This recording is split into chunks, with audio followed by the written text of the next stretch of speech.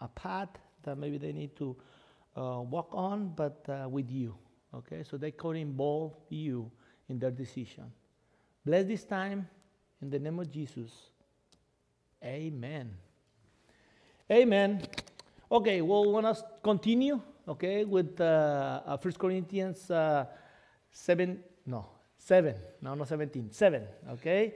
And um, last week, we, you know, we start with the uh, Corinth, 1 Corinthians 7.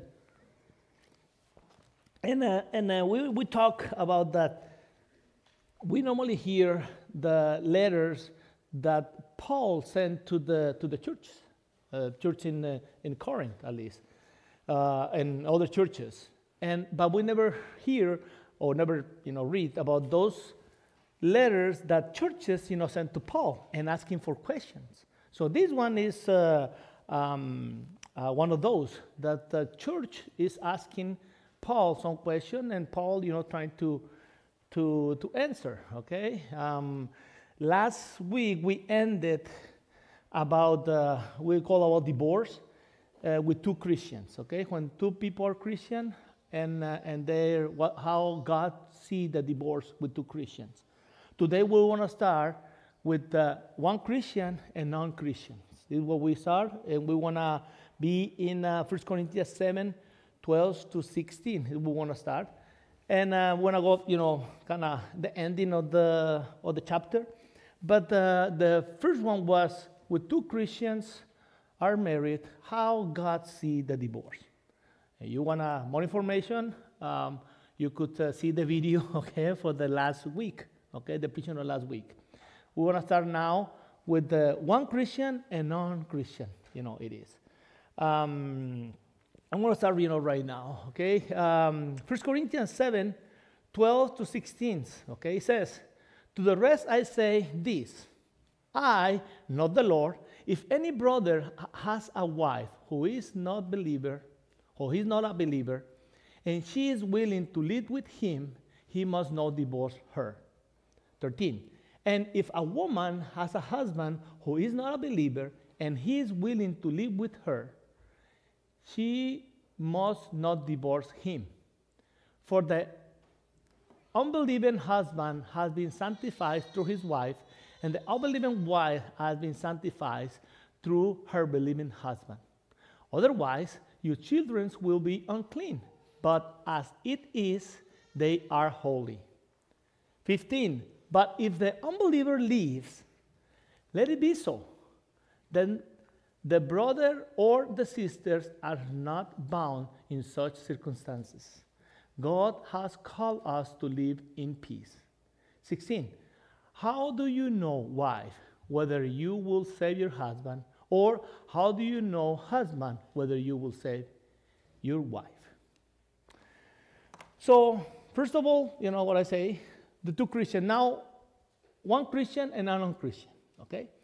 And, and in general, um, uh, the, the question that the, that the Corinthians, the, the church in Corinth are telling Paul is, is the, the whole thing was, is that better to serve the Lord as a single or it's better to serve the Lord as a married?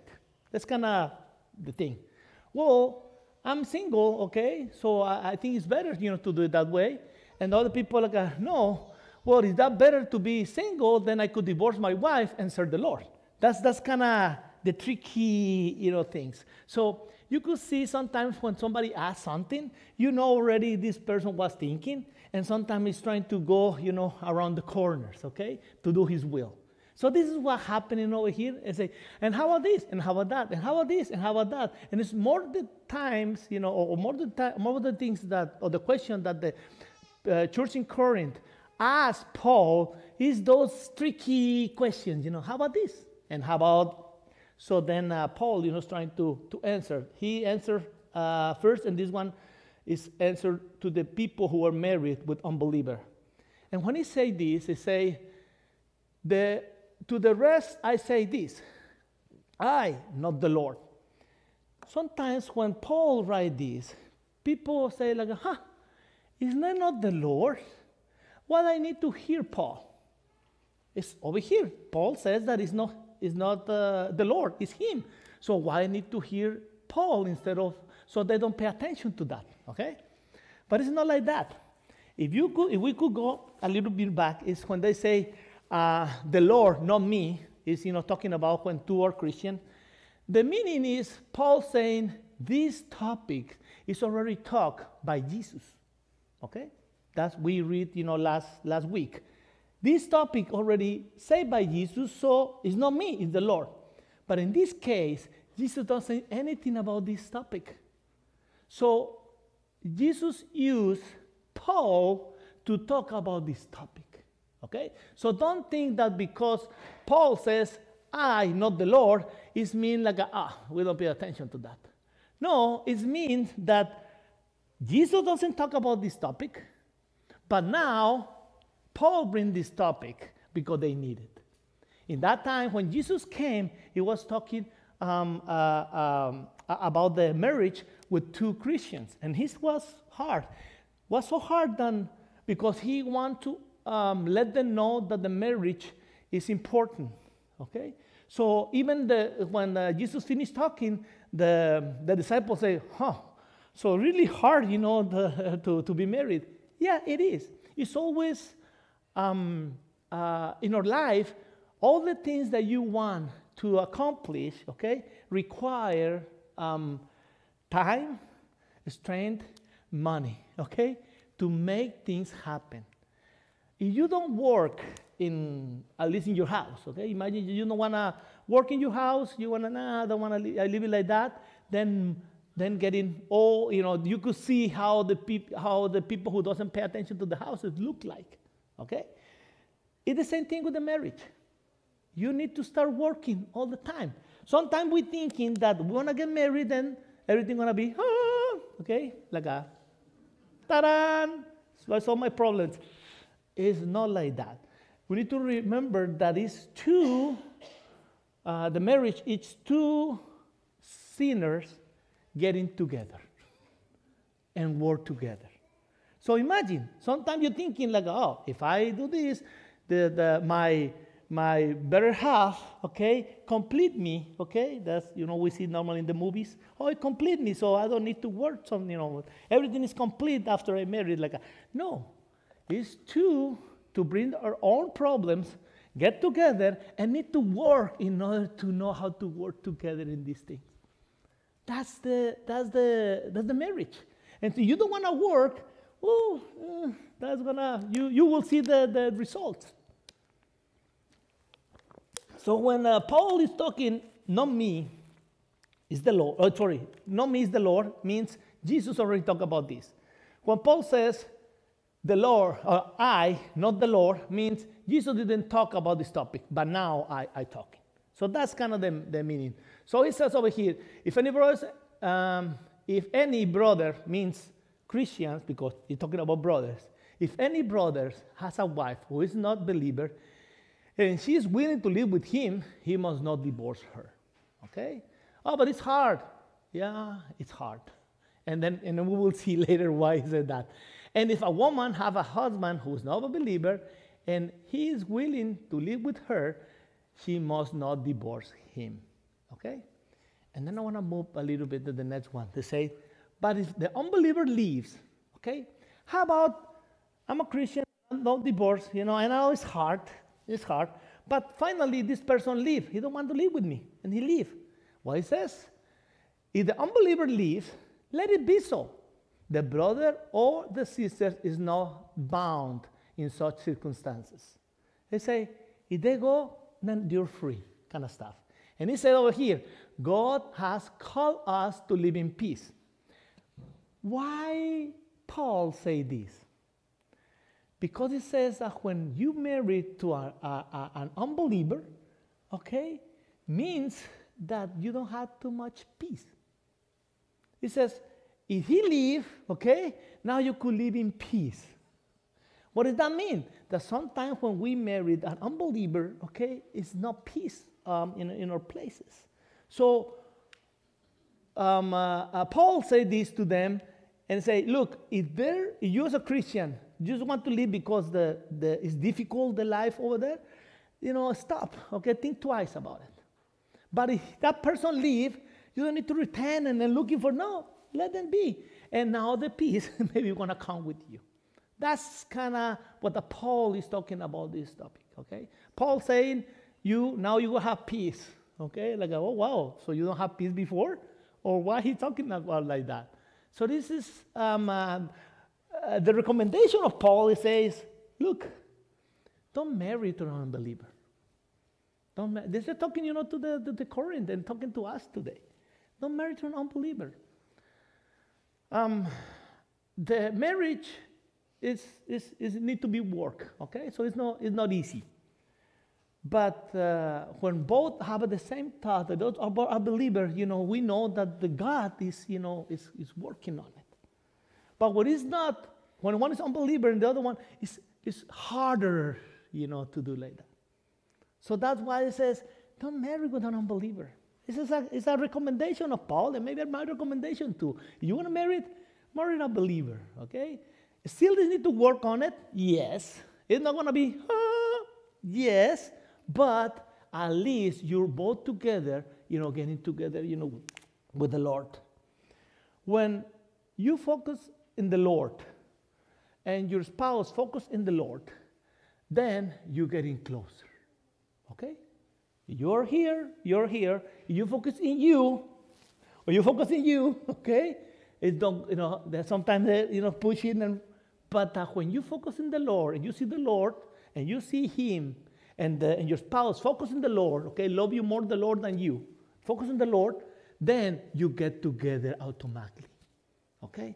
So this is kind of the thing. You have the same Lord and you're looking for Him, okay? Then you want to be close to your spouse because you put the Lord first instead of trying to, you know, get in or, or pull in, okay?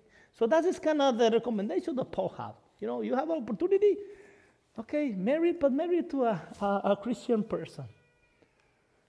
Says, uh, 1 Corinthians 7, 17 says, Nevertheless, each person should live as a believer in whatever situation the Lord has assigned to them. Just as God has called them. This is a rule I lay down in all churches. Now, start with this, okay? Uh, Paul says, look, each person should believe as a believer in whatever situation the Lord assigned to them. Why? Because they're asking, um, is that better to serve the Lord as a single? Okay, is that the better, Lord, you know, to treat the Lord as a, as a married? Okay, is they're better as a single, then I divorce and then be more holy. And then and Paul say, eh, you know, like that. Okay. Well, so how about you know if I already divorced? Okay, am I need to remarry it, or it's okay to become to be single and say it doesn't matter? Oh, but how about how about if um, uh, this is my second wife or my third wife? Do I need to go back and then and then start doing the things all right? and then uh, uh, so I need to divorce my second wife or my third wife to get married now with my first wife. It's always all these kind of questions. And then Paul says, please, okay? Whatever situation the Lord has assigned to them, just as God has called them, the way that God calling you, is God calling you as a single, serve the Lord. If God call you as a merit, serve the Lord.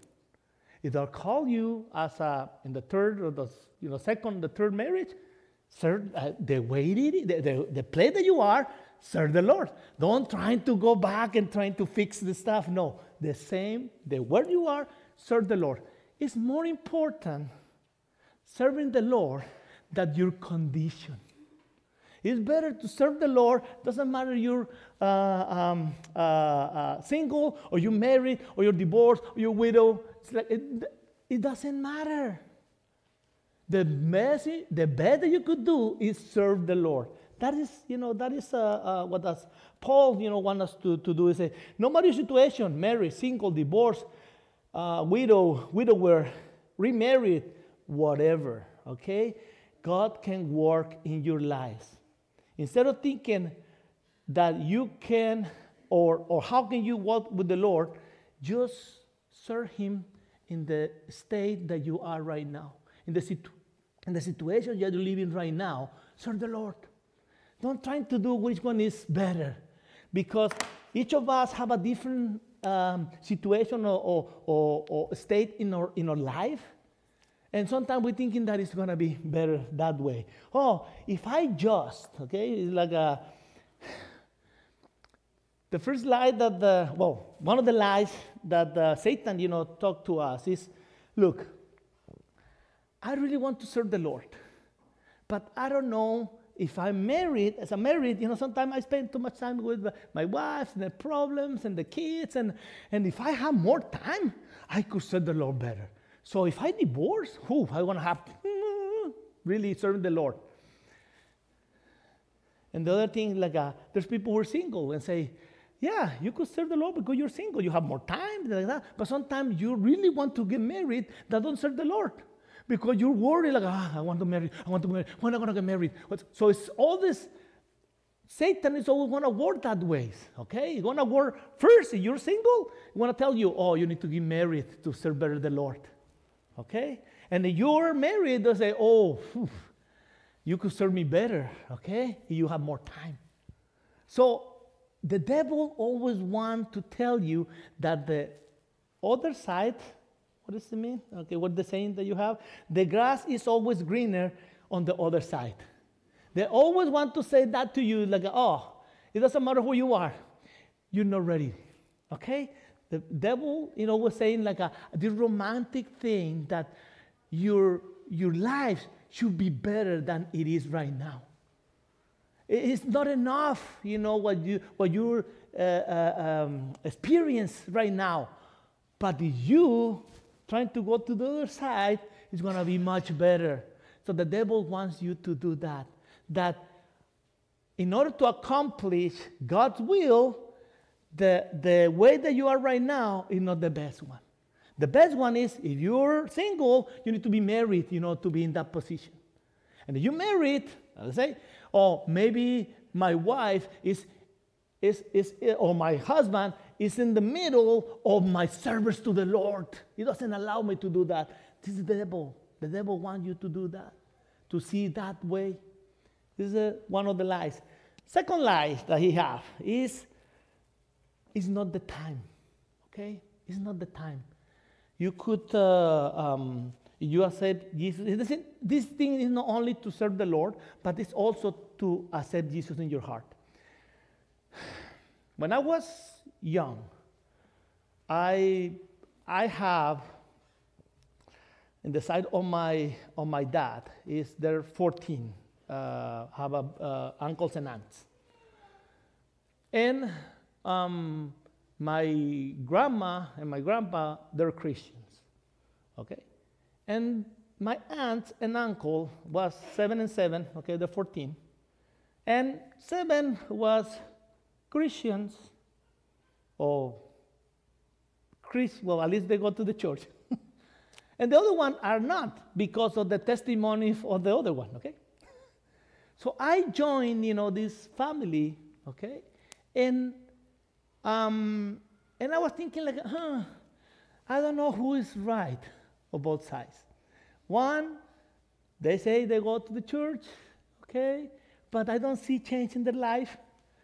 But the other ones, you know, um, uh, don't go to the church, but I don't, I don't you know. Ah. So which one is better? So my point was like, I don't want to make decision right now. When I get older, okay, when I almost die, my goal is like that. When I almost die, I just accept Jesus in my heart and go to heaven. That's my goal. The point is like I don't know when I'm gonna die. It's like, if I knew when I'm to die, or a year before, a month before, I do this, and then, oh, win win. I do what I want in the world, and now I want to go to heaven. Ta-da! That was my goal. When, when we think in that way, okay, even if people come and say, you know, Jesus love you, and Jesus is like, nah, no, I don't want to. Because my goal was or, or, or what I'm thinking is like I, am more, I'm smarter than you.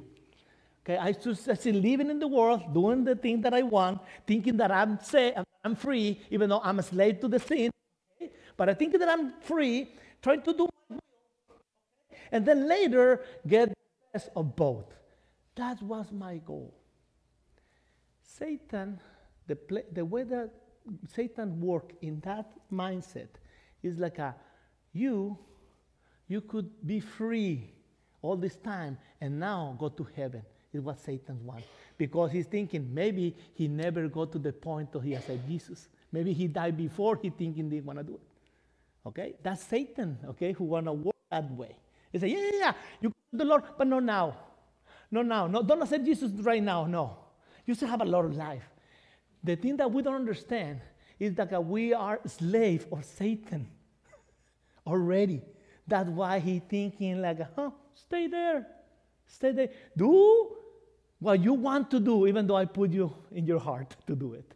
Okay? Why? Because when you become a Christian, okay, when you're trying to follow the Lord, Satan says like, first of all, before that, he want to trying to, you know, trying to fish, okay? He's trying to get you back, okay? He want to try as much as he can to, to get you back. And it's when, when, when you become a Christian and you say, huh, now I become a Christian and my life is harder than before. It's because you start changing and the devil knows that and he wants you back. Okay? But then later, when he finally know, like, oh, I lost him. Okay? For now, I lost him. But I don't want his potential bring more people to the Lord. So if I don't want more people come to the Lord, my way toward now is to make them think that he's not prepared yet. Okay? I don't want that he could know that whatever he have right now is enough to bring more people to the church and say, no, I'm not prepared right now. I'm not prepared right now. If I accepted Jesus when I was young, I'm thinking, oh, when I finish uh, um, uh, high school, then I could serve the Lord. When I know more, okay? Oh, when I finish college, I will serve the Lord, yes. No, now, I don't know too much, okay? Oh, when I um, uh, uh, find this job, then I want to serve the Lord. Okay, no, it's not yet. Oh, when I'm married, I want to serve the Lord. Oh, no, no, no. Um, when my kids, um, when I have kids, I will serve the Lord. Oh, when my kids are out of the house, I will serve the Lord. Oh, when I retire, I want to serve the Lord. This is the way that Satan's work with us. It let you know that you're not prepared to bring others to Christ. And when you believe that, you're being, the time pass and time pass, and you don't see like a, okay. Why? Because he's thinking you're not prepared. When I show, you know, I've been showing you, you know, the line, okay? If you are a one, you say Jesus, you're one, you could be talking to zero, minus one, minus two, minus a hundred. Okay? But it's always need to work, okay, in your life. So the devil first don't want you to serve the Lord. So he want to entertain you. When he know that you have interested, he's trying to, okay, pull you back. When he finally, you know, uh, when you leave and try to follow Jesus, he will tell you this, yeah, I lost one, but I don't want to lose all the potential all these people have. I could lose one, but not all the potential that the, all the people could come for only one person. And it's working with you. So over here, when we're talking about the, the, uh, how Satan, you know, kind of kind of work, is I'm not prepared right now. Okay, I'm I need to you know keep working on it. And, and uh, uh, Paul says, come on, the way that you are right now, you're enough to do God's will. You're prepared already. You have said this in your heart, you're prepared already to bring more people to Christ. Is what Paul is saying. Don't thinking that that, that uh, uh, if I um, I'm, uh, have a retreat, you know, for many days and, uh, and really I'm going to be more spiritual. It's eh, not like that. It's more how start, how can you know or how can you let God work in your heart, becoming more like Him and still bring it more people, you know, to the Lord.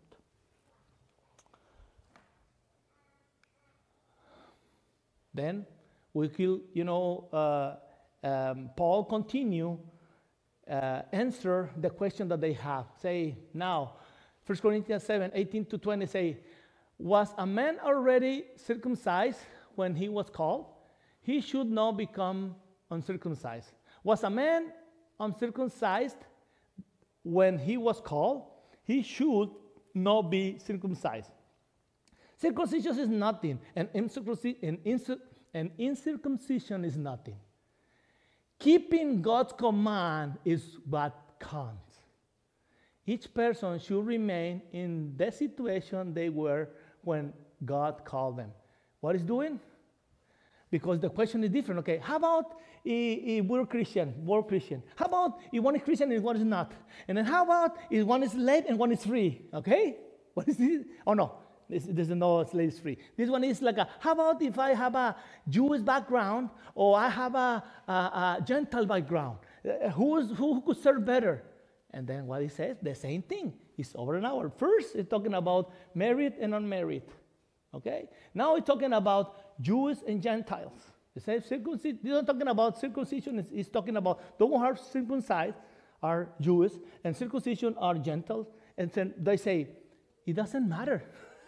In circumcision, what I say, 19 says, circumcision is nothing. And circumcision is nothing. What does it mean? If you're Jewish, you have a Jewish background, it doesn't mean anything. If you have a Gentile background, it doesn't mean anything. What is, what is uh, important? Keeping God's commands is what is important. They say, stop talking, how about this, how about that, how about this, how about that. And then the next one is the same thing.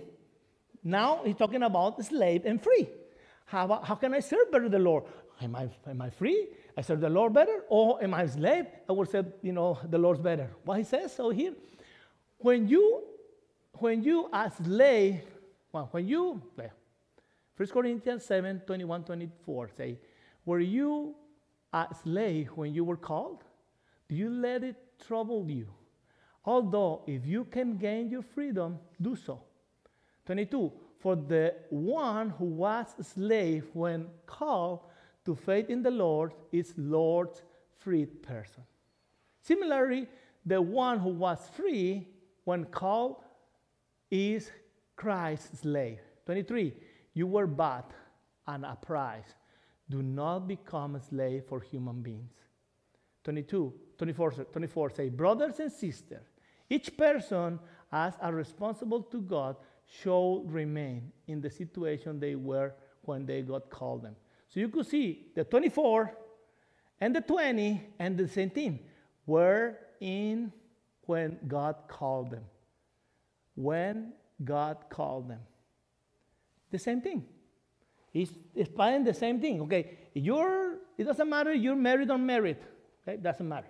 It doesn't matter if you are um, uh, Jewish background or Gentile background. It doesn't matter that. And now it doesn't matter if you're free or slave. And it, what he's saying, like, uh, if you think you're free, okay, uh, you are a slave, you know, in, in, the sin, is what he's saying. Because when you accept Jesus, now you become a slave of Christ, is what he's saying over here. And then if you feel um, slave and you're in the Lord, I want to let you know that you're free. That's what he's saying. And this says, if you can gain your freedom, do so. It doesn't mean that you need to stay the way that you are. It's start serving the Lord where you are. But could continue with the Lord and the Lord wanna open, okay, the things for you. It doesn't mean like, a, oh, if I'm a slave um, and I become a Christian when I'm a slave, I need to be like that all the time. So I have opportunity to, uh, to be free. I don't want to take it because God called me to be a slave. That's, that the, the, say, no, no, no, no, no. You have opportunity to be free. Take it. Take it. I want you to start serving the Lord the place that you are. But I want you to grow, okay, with Him. Ah, okay, 1 Corinthians 7 25, 28 say, Now, about virgins, I have no, I have no command from the Lord, but I give a judgment as one who by the Lord's mercy is trustworthy. Because of the present crisis, I think that it is good for a man to remain as he is. Are you pledged to a woman? Do not seek, do not seek to be released. Are you free from such a commit, commitment? Do not look for a wife. 28. But if you do marry, you have no sin. And if a virgin marries, she has no sin. But those who married would face many troubles in this life, and I want to spare you this. Now, over here they say, well, wait a minute, okay? What, what, what is the situation over here? You read in the tw- 25, it say, the last part say, um, but I give you a judgment as one by the Lord's mercy and trustworthy. Okay, no, 26 says, because of the present crisis. Okay. It's what happened in that time. They have a crisis, they have a persecution. Okay? And then because of that, you know, uh, thing, um, uh, uh, the, the, what does Paul want to let you know and say, look, if you're not married, don't marry it. Say like that. If you're married, that's okay. Continue like that. But uh, just to let you know, I say this because I know that this present crisis, if that hit you, it's going to be in some case easy for you to deal if you're single than if you are with family. What is this about? Imagine, you know, that, uh, that they grab you and then they, they try and uh, uh, they torture you and say, I don't want to deny Jesus, you know, do whatever you want with me. But how about if they get the wife? They get the kids and they torture them. Okay? It's a different. That's why Paul is talking about this. Look, if this present crisis hit you, it's better to you be the way that you are. Okay? That, I, I don't want you to change because it's going to be hard. Okay? I just want to let you know that. It's, it's, this is kind of the, the thing that he said. And when he say virgin, he doesn't talk about uh, only uh, females. He's talking about both. And, and the main thing is like a unmarried, okay? Of course, you know, they be coming for a, for a Jewish background or for a, a Gentile background, but they say, yeah, you're, you're unmarried, is what he's, he's saying, okay? Be like that. Because if this present crisis hit you, okay, it's better to be single than to be married because of, I don't want you to suffer. That's, that's the, the main point of, uh, of, of Paul. And he knows what does that mean. 2 Corinthians 11 23 28. Paul said this. They say, Are they servants of Christ? I am out of my mind to talk like this. I am more. I have worked much harder and been in prison more frequently, being flogged more severely, and being exposed to death again and again. 24. Five times I received from the Jews the 40 lashes minus one. Three times I was beaten with rods. Once I was pelted with stones. Three times I was shipwrecked. I spent a night and a day in the open sea. I have been constantly on the move. I have been in danger from rivers, in danger from bandits, in danger from my fellow Jews, in danger from the Gentiles, in danger in the city, in danger in the country, in danger at the sea, and in danger from false believers. 27. I have labored and toiled uh, and have often gone without sleep. I have known, have known hunger and thirst, and I have often gone without food. I have been cold and naked. Besides everything else, I face daily the pressure of my concern for all the churches. So Paul is telling the Corinth, look, I know how to live, okay? I know how to suffer for the gospel, okay? And then, and I, I that's why uh, Paul was telling, uh, you have opportunity to be single, be single. But he says, those who are gifted to be single, not everyone could do it. Someone are, uh, are gifted, have a gift, okay, to be single. Some have a gift to be married, okay? But I say, I don't want to command you to do like that. I just let you know how hard it is, okay, and how much better I don't want you to suffer, you know, like that. Imagine if, uh, if all these things happened uh, when Paul was married or with child, or happened something like this. Okay? So that's, that's the main point of Paul. Look, because this, this crisis, okay, could be worse.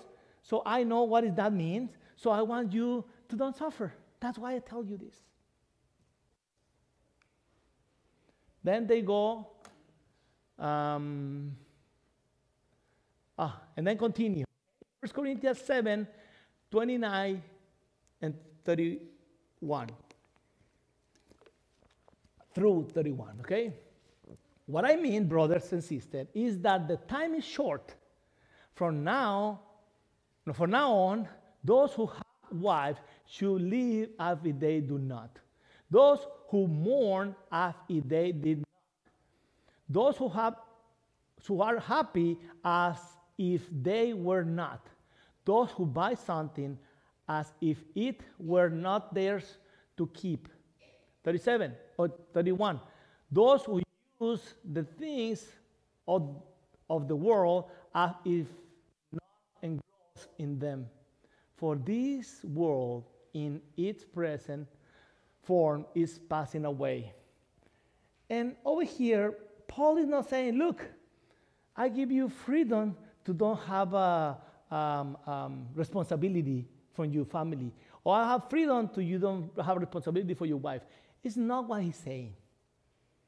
What he's saying is, look, if you think that um, those who have wife should live if they do not, means if, the, if the, your family is more important than God, okay, put attention to that.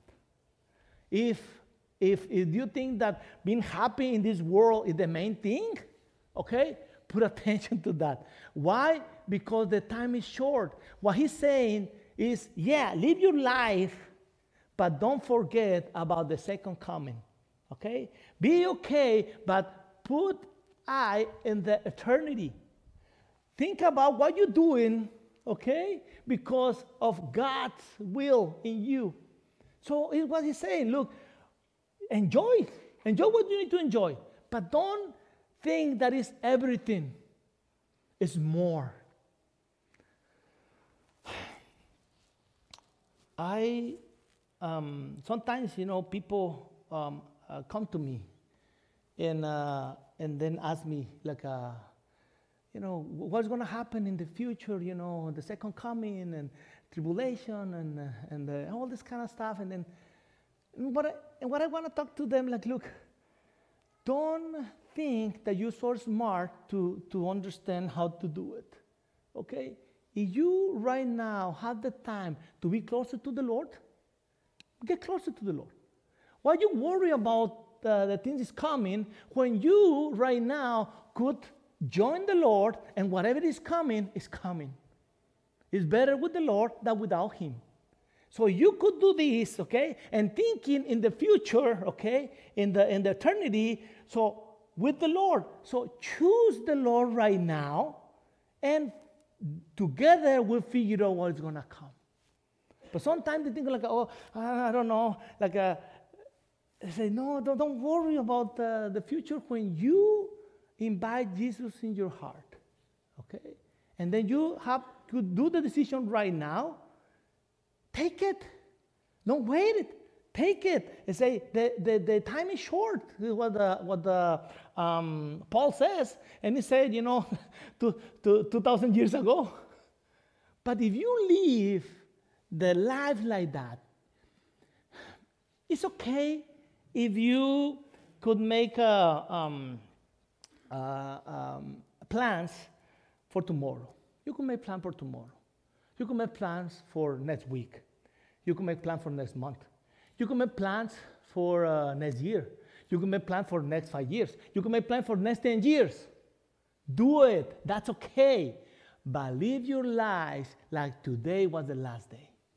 Live your lives thinking that maybe God is coming tomorrow. And when you have that perspective, you you of see it, okay? Like, uh, okay, I know the Lord is coming. Yes, I enjoy this time, but don't enjoy too much. Don't think it's everything.